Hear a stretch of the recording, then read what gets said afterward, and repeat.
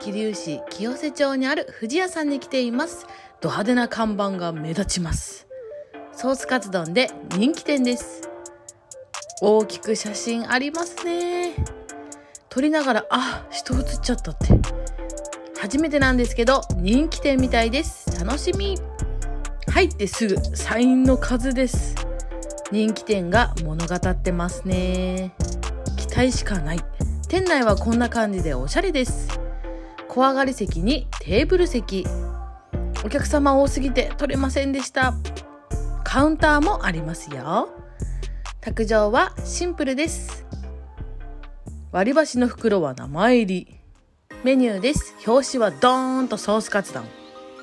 開いてみるとソースカツ丼パレード。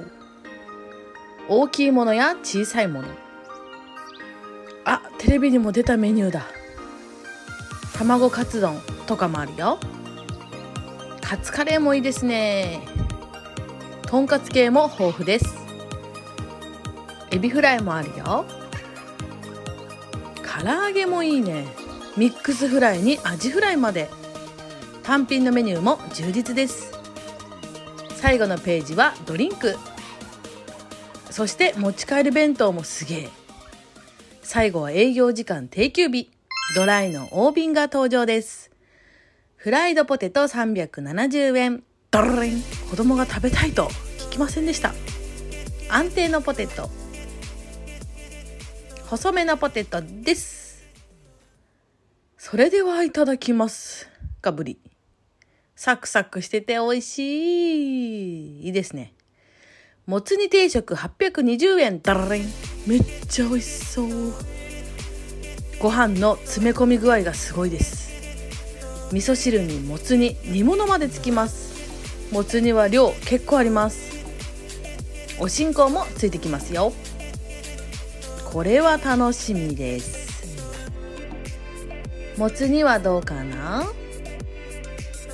結構お皿で深く入ってます。もつがめちゃくちゃでかいです。それでねいい匂いがするんですよ。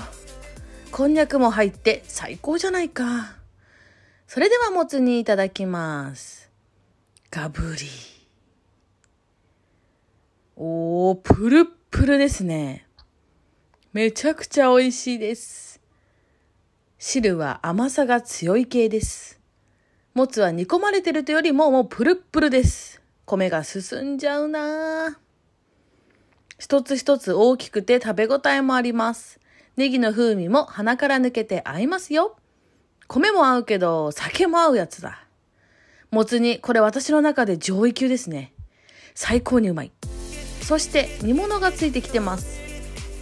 ちくわにこんにゃくのスタンダード。食べよう。ちくわおがぶり。あったかくなくて冷えてます。こんにゃくがぶり、すごい染みてます。カツカレー1030円。ダラリン。うわー、カレー満タン。美味しそうですねカツとカレーなんて組み合わせた人天才。ご飯のこんもり具合も量あるな。カツの他にもカレーの肉も小口で早く食べたくなりますね。カツはどうかな？まんべんなくかかってるカレーがいいですねもう衣が見えないあら素敵お米の方はどうかな？カレーライスだけでも美味しそう。具材は溶け込んでる感じです。スパイスのいい香りがしています。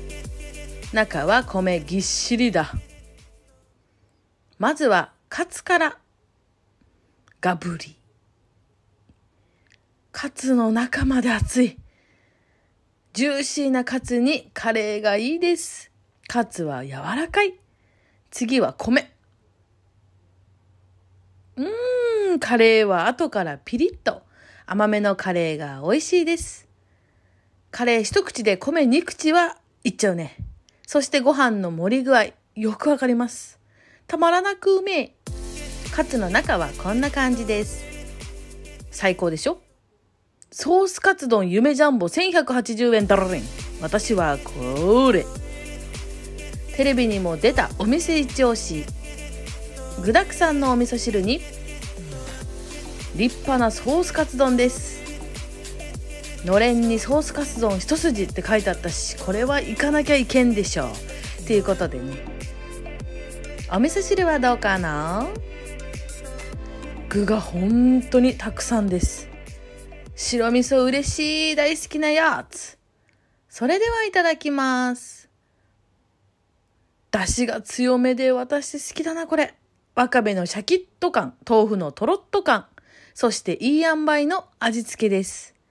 この味噌汁私が好きな味付けだ。たまらんです。そしてカツはどうかな？丼が大きくすぎてカツが小さく見えますがこれは至って普通の大きさです。ご飯がしみるタレもいいですね。これめっちゃ美味しそう。米もキラキラしています。それでは食べてみましょう。ヒレ肉を使ったカツ。いいですね。ガブリ。柔らかいソースがうまい。少し濃いめのソースでソースには出汁がかなり効いています。お米をかき込みたくなるなるなるなる。カツが6枚しかとか思ってたんですけど、6枚あれば上等すぎるほど米進みます。ソースの酸味も結構飛んでるしいいですね。ソースカツ丼たまに蒸せるんですけど、その感覚1ミリもありませんでした。うますぎる。カツの中はこんな感じ。薄めの衣にジューシーなカツ。キャベツの量もすごいです。ソースカツ丼といえばキャベツですよ。ちなみにこれはご飯は大盛りだそうです大盛りにしようとしたら大盛りですって言われましたなので本当に量は多くてびっくりですキャベツと合わせて最高。もつ煮ごちそうさまでした。カツカレーごちそうさまでした。ソースカツ丼ごちそうさまでした。それでは振り返りです。さすがソースカツ丼一筋。激うまでした。プルプルなもつ煮もすごく美味しかった。カツカレーもカレーも甘めで最高。全体的にご飯の量は多いです。大盛り注文の時は店員さんに確認してからにしてね。桐生の人気店は激混みでした。ごちそうさまでした。